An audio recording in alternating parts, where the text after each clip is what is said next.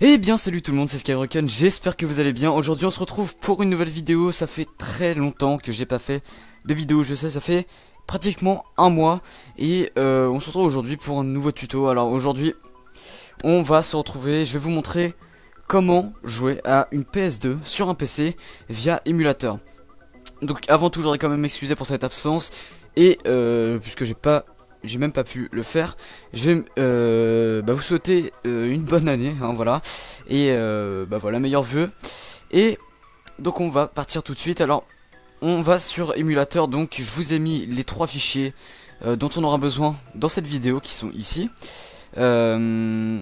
Et donc on va commencer directement. Alors, ce, cet émulateur s'appelle PCSX2. Ah oui, alors avant tout, euh, quand même, je vais vous montrer comment jouer sur PS2, mais je vais aussi comment vous montrer sur PS2 avec une manette de PS4.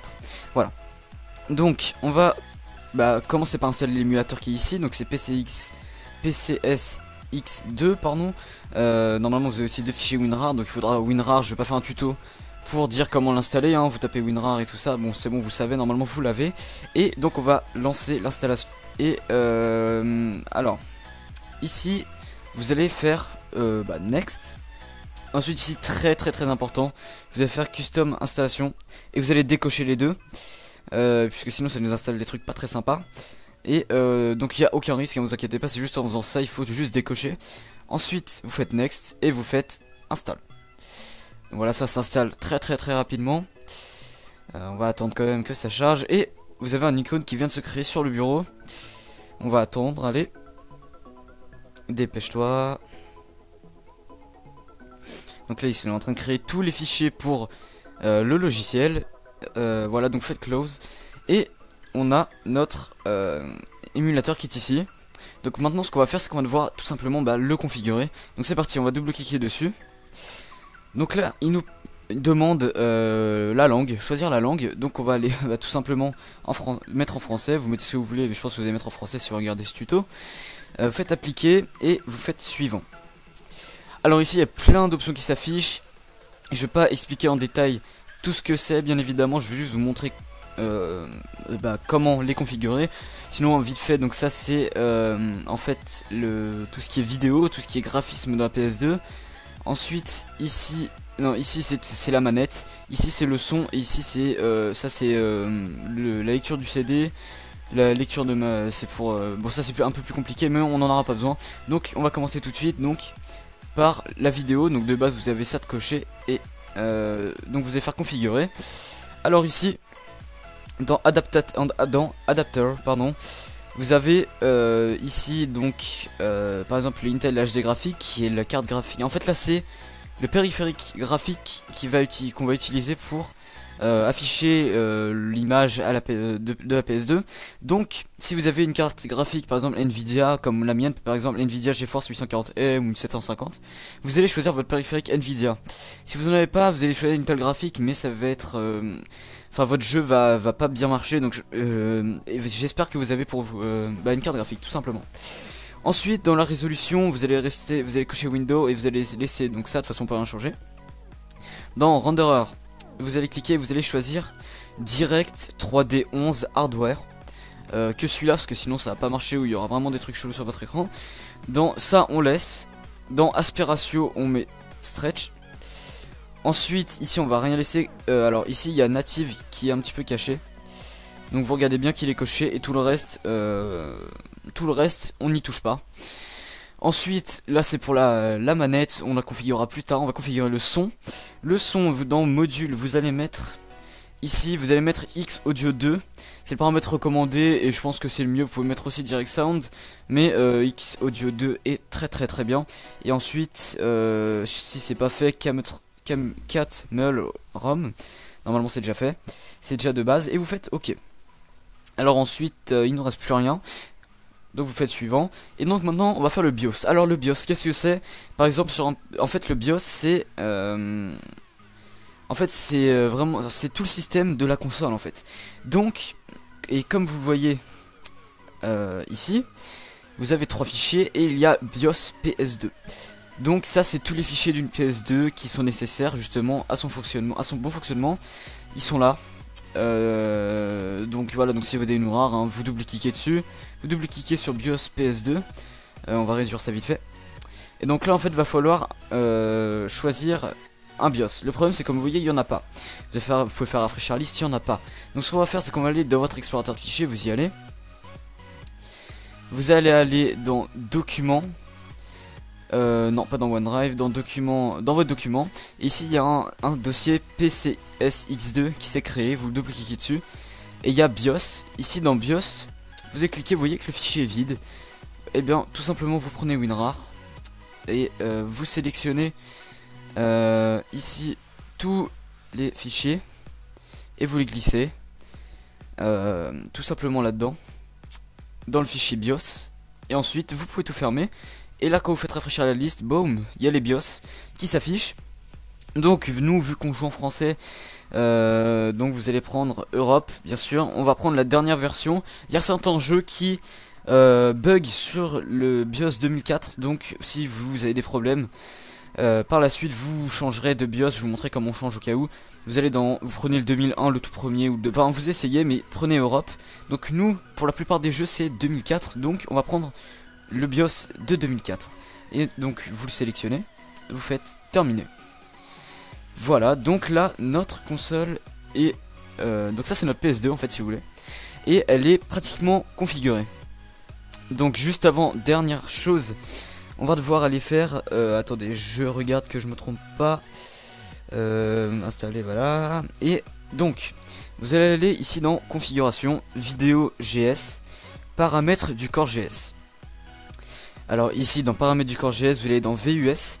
dans VUS, vous allez cocher Super VU et Super VU euh, dans VU0 et VU1. Ensuite, dans GS, on touche pas. Dans EE, IOP, on touche pas. Et dans mode fenêtré, vous allez mettre format large 16 neuvième et en résolution euh, je vous conseille de mettre du 1280 par euh, attendez par 720 donc euh, ça c'est la 720p hein, donc je vous conseille de mettre ça vous faites appliquer et le reste on n'y touche pas ok et donc ensuite bah, normalement ensuite tout est configuré alors non maintenant on va configurer c'est la dernière chose la dernière chose qui lance à configurer c'est la manette donc la manette. Alors la manette, je vous ai mis un fichier ici. C'est pour jouer avec une manette de PS4. Donc vous allez ouvrir ce fichier WinRAR. Et là vous avez un fichier DS4 Tools, ok, donc ça vous le mettez où vous voulez dans votre PC, moi pour le, tuto, pour que ce soit plus rapide, je le mets ici sur le bureau, euh, il y est déjà donc je vais pas y toucher, euh, voilà, donc quand il est sur votre bureau, le mien il est où, il est où, il est là, donc ensuite vous, vous ouvrez le fichier, Ici, vous allez dans Virtual Bus Driver. Donc en fait, on va installer un pilote pour qu'il reconnaisse la manette de PS4. Donc vous allez cliquer sur SCP Driver. Là, vous faites oui. Euh, là, il y a eu un bug, je sais pas sur l'écran, j'imagine. Mais là, ça va vous demander si vous voulez euh, euh, accepter, puisque c'est un, utilisateur inconnu qui l'a créé. Enfin bref. Donc vous faites oui, et là, ça vous affiche ceci. et là, vous allez faire install. Et bah, je vais faire avec vous. Hein. Ça me le réinstalle, c'est pas grave. Et voilà, et vous faites exit. Maintenant, vous revenez dans le dossier, à la racine du dossier, et vous avez SCP serveur. Donc vous cliquez, double-cliquez dessus. Vous pouvez fermer ça. Alors ensuite, maintenant, va falloir que euh, vous... Euh, alors ça, ça va pas être stop. Ça va être comme ça, vous, ok? Il y aura rien ici. Et vous allez prendre votre manette de PS4 avec le câble USB. Vous allez brancher un port USB votre manette. Donc c'est ce que je fais. Hop là le petit bruit. Et euh, là, ici, vous allez faire Start. Et euh, vous voyez que ici, vous allez cocher contrôleur 1. Et en fait, ça, c'est votre manette, tout simplement. Et euh, bah voilà, donc là, il reconnaît votre manette. Vous allez faire réduire. Donc là, il disparaît, mais il marche toujours. Si vous, si vous avez fait ça normalement et que ça marche bien, vous pouvez voir qu'en faisant votre pavé tactile, votre souris bouge. Si vous faites L1, ça fait un clic droit. Et si vous faites L, R1, ça fait un clic... Non, R1, non, R1, ça fait un clic droit et R2 euh, et L1 ça fait un clic gauche bref et euh, donc là maintenant on va pouvoir puisque votre PC reconnaît la manette de PS4 on va pouvoir euh, aller configurer la manette dans notre PS2 donc on va vers configuration on va aller dans contrôleur paramètres du plugin Ensuite, vous allez aller tout en haut sur pad. Alors, attendez, juste avant, si ça a bien marché, il reconnaît normalement le logiciel qui, permet à votre PC de d'utilisateur de PS4 qui s'appelle contrôleur Xbox 360 for, for, Windows. Donc ici, vous allez aller sur pad 1 et on va tout simplement configurer notre manette. Alors vous prenez votre manette, vous appuyez sur... Alors là vous cliquez avec votre souris, donc en clic gauche, hein, sur Square. Square c'est en, anglais carré. Euh, en fait c'est le square de la, de la manette de PS2. Si vous appuyez sur le carré de votre manette de PS4, hop là, vous avez une touche PS4 qui est assignée. Cross c'est X. En fait voilà, je pense que vous avez compris, vous assignez vos touches. Donc cross c'est X ou croix, vous faites croix avec votre manette. Euh, là, bah circle c'est rond.